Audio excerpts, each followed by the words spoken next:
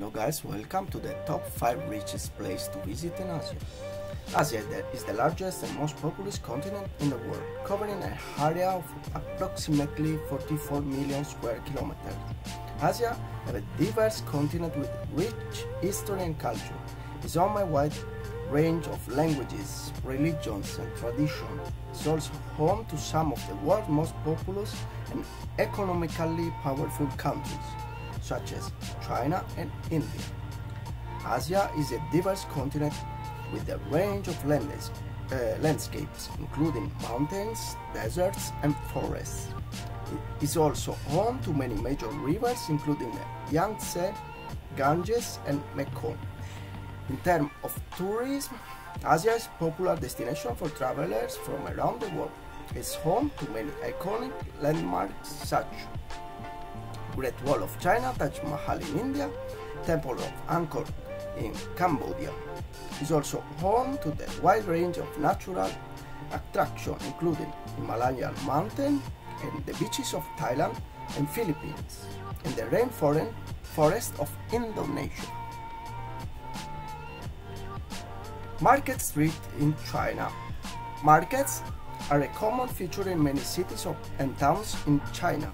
They are usually bustling crowd places where people go to buy and sell goods, as well as they socialize and meet up with friends and neighbors. Chinese markets can be found in many different forms, including traditional open-air markets, indoor shopping malls, and online marketplaces. Some markets specialize in a particular type of product, such as clothing, electronics, or food, while others offer a wide range of goods.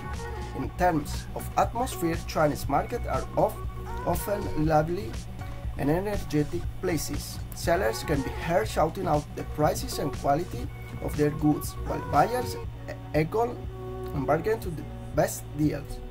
The tea ceremony, also known as Chanoyu or Sado in Japanese, is a traditional Japanese cultural activity that involves the preparation and serving of tea. It's also highly ritualized activity that is steeped in centuries of tradition and culture. The tea ceremony centers around the preparation and serving of matcha, a type of powdered green tea. It's typically held in a special tea room or chashitsu, which is a small simple room with a tatami mat floor. Temple or mosques are an important part of Thai culture and can be found all over the country. They serve as places of worship for Buddhists, as well as centers for cultural and social activities. Thai temples are known for their ornate architecture and intricate decoration, which often feature gold leaf, colorful mosaics, and intricate carvings.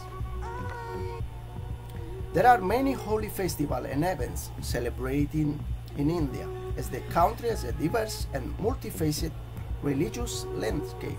These events involve rituals, prayer, and devotional practice, as well as music, dance, and other cultural uh, activities. One of the most well known is the Hindu festival of Diwali, as known as Festival of Lights.